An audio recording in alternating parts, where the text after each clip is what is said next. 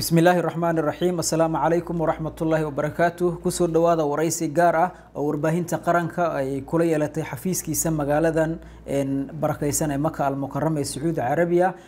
Sheekh saalax nuux maxamed oo isagu ah madaxa xafiiska qeybta wacyigelinta arrimaha xujayda soomaaliyeed. Waxaanu wax ka weydiineynaa arrimo la xiriira waxyaabaha xafiiska uu qabto iyo diiniyan waxyaabaha saaran xujayda waxa looga baahan yahay waraysi dhinacyo badan taabanaya ayaanu la yeelanayna ku soo dhowaada. Madiinatu munawara ayay ka soo bilowdeen sida qaalibka ah.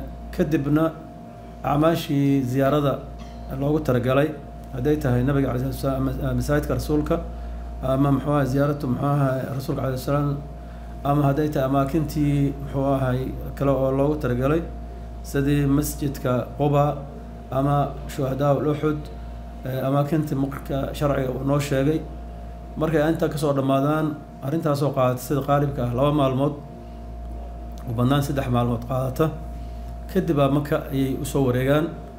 Cumrada waxay ka soo xirtaan miiqaadka muxuu ahay madiinat lmunawara juxfa la yihahdo abyaar cali kadib waxay soo gaaraan maka almukarama iyo meeshii ay ka deganaayeen bicsada ay ka deganayd muxuu ah bay soo gaaraan kadib ayaa ay cumrada cumraystaan. Kadib wixii intaa ka dambeeyo haddii maalinta sideedaad la gaaro waxay waxaa loo kacaa muxuu yowmu tarwiya. Waa maalinta xajka la exraanto oo muxuu ahaa sideedaad bisha dilxija bisha sideedeeda maalintaas ayada baa laga diyaar garooba halkan basaskii iyo muxuu ahaay arrimihii la raac mawaasalaadkii la raaci lahay baa halkan laga baxaa. Kadibna waxaa la tagaa mina teendhooyinkii loo diyaariyey xujayda bay ku dagaan. Halkaas habeen bay joogaan. Subaxi waaga markuu baryo baa basaskii bay haddana baa loo diyaariyaa. Way sii baxayaan marka caraf ay tagaan yooma carafa carafa waxa weeye maalintii markii ay tahay duhurka ee bacda zawaal weeye markay bilaabanayso halkaasaa marka markii kow horta manin la tago waxaa loo culamada waxaa loo diyaariyaa in la wacyigeliyo oo hadday teendho kastaba muxuu ahay shuyuuq baa loo diyaariyaa marka oo microfoonadooda iyo waxooda ay u diyaarsan yihiin si camalka berito ay galayaan oo camal cadiim ah. Alxaju carafa nabiga alayh salatu wasalaam uu ku yiri maalin ay qoraxa soo baxdo ama ay dhacdo maalinta ugu fadli badneydna ayaamu dunya inay tahay yowm alcarafa. Adila ku soo aroortay. Taasaa marka si fiican loogu sharxaa. Kadibna marka baska markay fuulaan oo meeshii loogu talagalay carafa ay ka degaan waxa weeyaan waxaa loo soo jeediyaa muxaadarooyin aan badnayn oo ku saabsan leanna yowma maalinta carafada waxa ugu fadli badan oo la qabto waxa weye ducaa marka wey si xaajiga uu mashquul usan ugu noqonin waxaa loo marka lagu wacyigeliyaa lagu wacyigelin doonaa insha allah haddana lagu wacyigelin hore lagu wacyigelin jiray culammadana ay ka gaabinin in ducada maalintaas carafa uu xoogga saaro ile waa maalin aada ilaahay subxaanahu watacaala ka rajaynayso in uu dembigiisa dembigaada dhaafo marka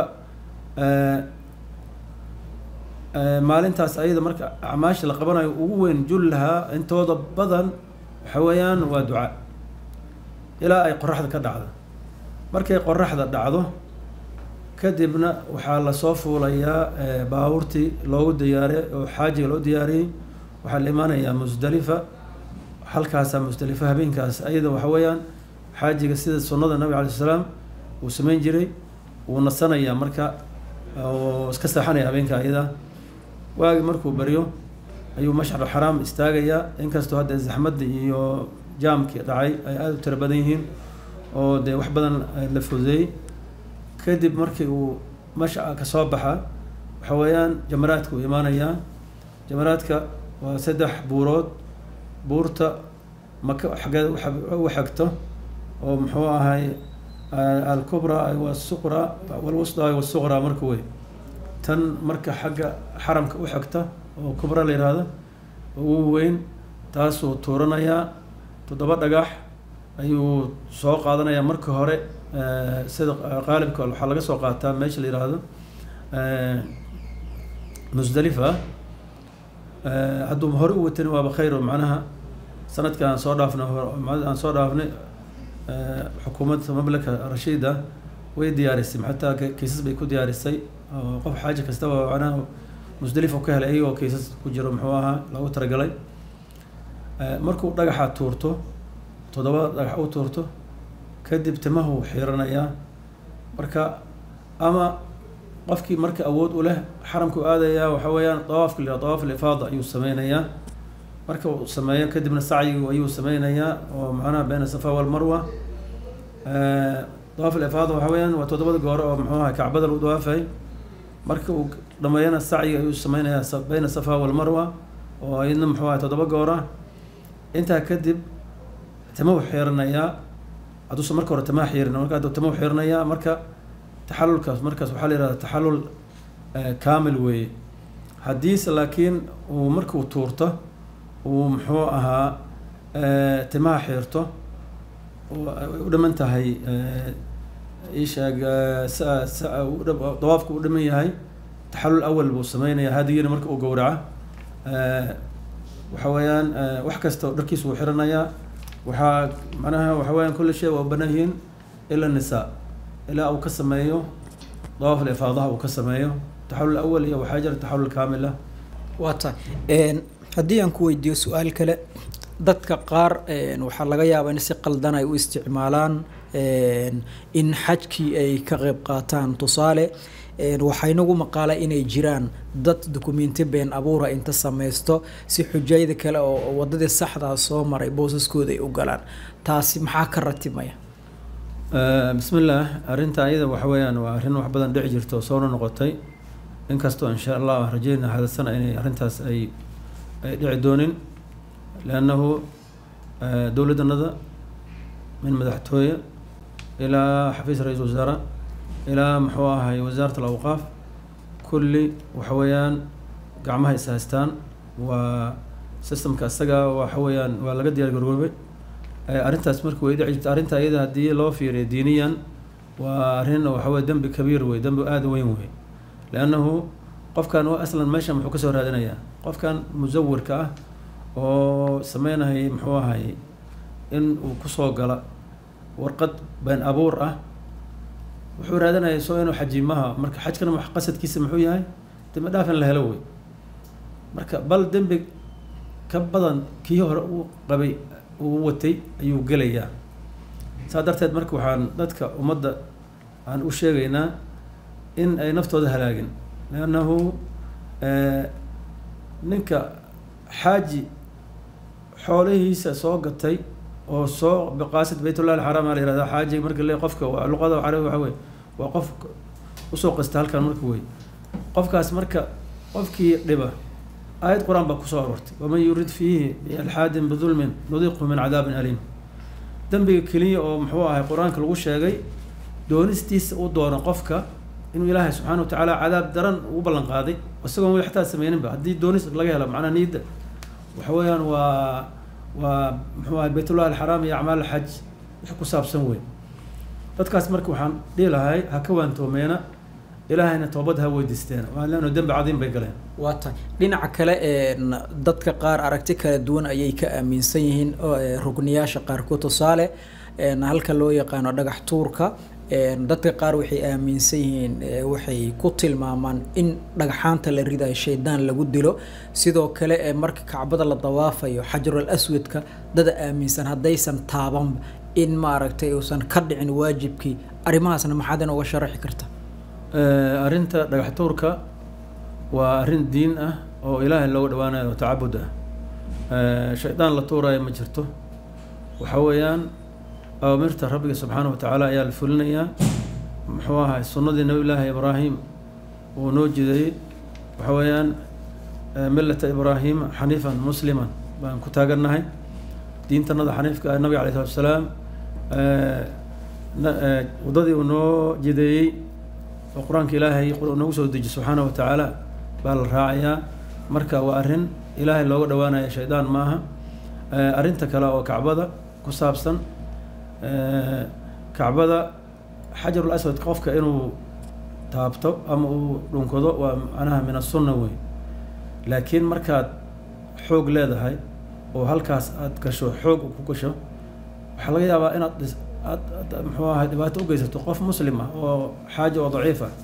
Ama naftaada aad dhib u geysato oo muxuu ahay adiga ile markaad meesha dhex gasho oo isku xirmo ama dhib aad geysato waxaa ka fadli badan oo ka fiican inaad dhib geysanin ood ka fogaato.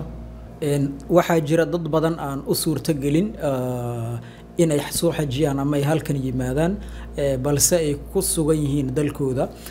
Marka iyaguna maxaa ku waajiba? Siday camaashan wanaagsan ay uga faa'iideysan karaan maalimahan khayrka badan. Horta maalmahan hadda aan joogno waa maalmihii ayaamu dunya ugu khayrka badnay waxaa weeyaan ayaamu macnaha cashra dilxij tobanka maalmood oo bisha dilxija ugu horeyso maalmaha ilaahay abuuray maalmaha ugu fadli badan wey qofkii ilaahay subxaana wa tacaala uu u fududeeyey oo meeshaan soo gaaray falilahi alxamdu walminna allah iskale muxuu ahaa galladeysigaas oo ku galladaystay. Leannahu qof imaan kara ma jiro. Hadduusan ilaahay subxaana wa tacaala uusan u idmin.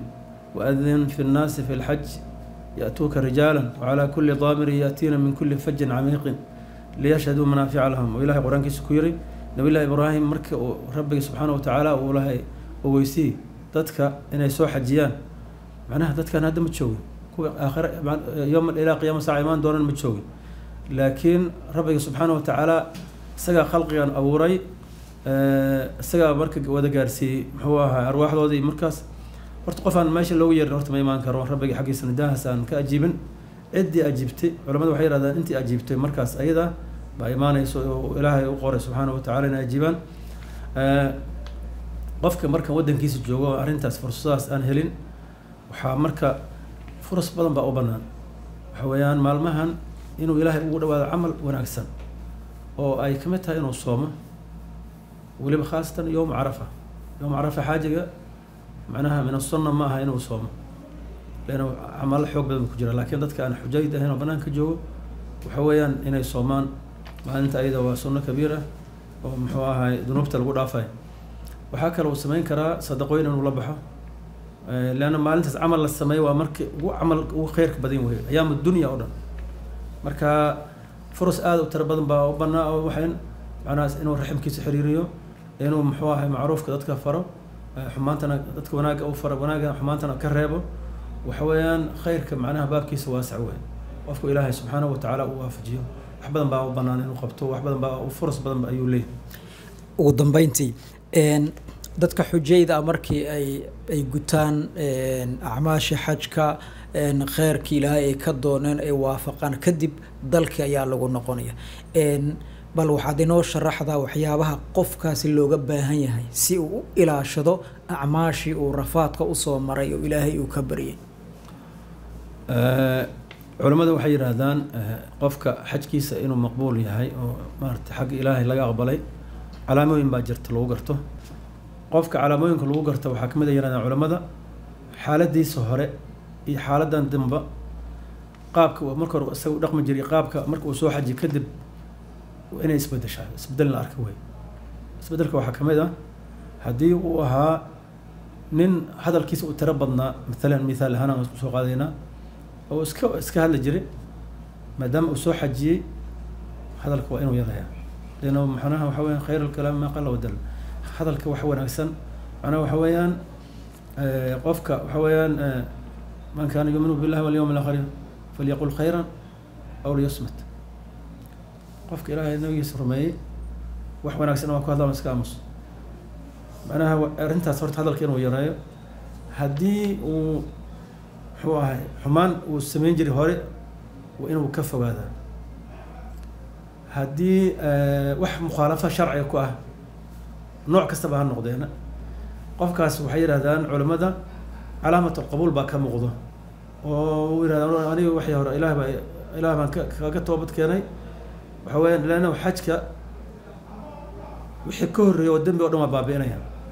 Aada ayuu umahadsan yahay kaasina wuxuu ah sheekh saalax nuux maxamed oo isagu ah madaxa qeybta wacyigelinta xujayda soomaaliyeed oo isagu u waramaya warbaahinta qaranka. Aad baan kaga mahad celinaynaa waraysigiisa